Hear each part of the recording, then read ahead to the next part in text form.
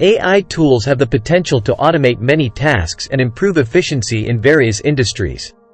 However, whether AI will completely replace humans depends on several factors. Task-specific versus general AI. Current AI technologies are mostly narrow or task-specific AI, meaning they excel at specific tasks but lack general intelligence and understanding. While they can automate certain tasks, they do not possess the versatility, creativity, and emotional intelligence that humans have. General AI, which would be capable of human-like thinking across a wide range of tasks, is still largely theoretical and distant. Complementary roles.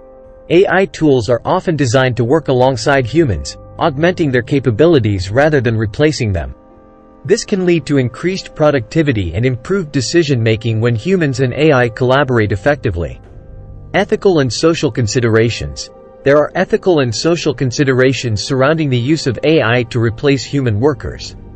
Many people are concerned about the potential loss of jobs and the impact on livelihoods. Society and policymakers must weigh these concerns against the benefits of AI. Technical limitations. AI systems have limitations. They can make errors, are reliant on data quality, and may struggle with tasks that require common sense, intuition, or deep understanding of context.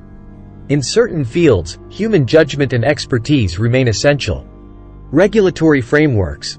Governments and regulatory bodies may impose restrictions on the use of AI to replace humans in certain roles. They may set guidelines to ensure fairness, transparency, and accountability in AI deployment. Cost and ROI. Implementing AI can be costly, and organizations need to assess whether the investment in AI tools will provide a sufficient return on investment.